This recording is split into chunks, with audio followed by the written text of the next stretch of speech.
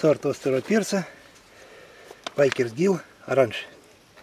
Это довольно редкий сорт. Родом он из Бразилии.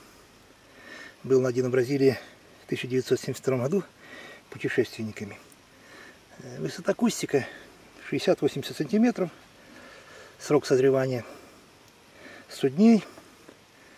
И острота у него от 50 до 100 тысяч сковелей. Довольно интересный сорт.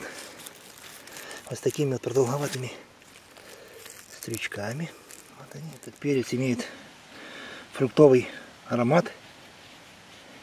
Такой небольшой кислинкой. Очень интересный. Тоже очень-очень много перца можно собрать с него. Созревает по мере роста перца. Ну, такой вот. Хороший для соусов приготовления. Э, Высевать на рассаду где-то 15-20 января. Ну, в открытый грунт можем высаживать его, когда пройдут возвратные заморозки. Чем, короче, раньше высадим, тем, тем лучше. Такой вот интересный перчик. Довольно-таки плотный, толстостенный.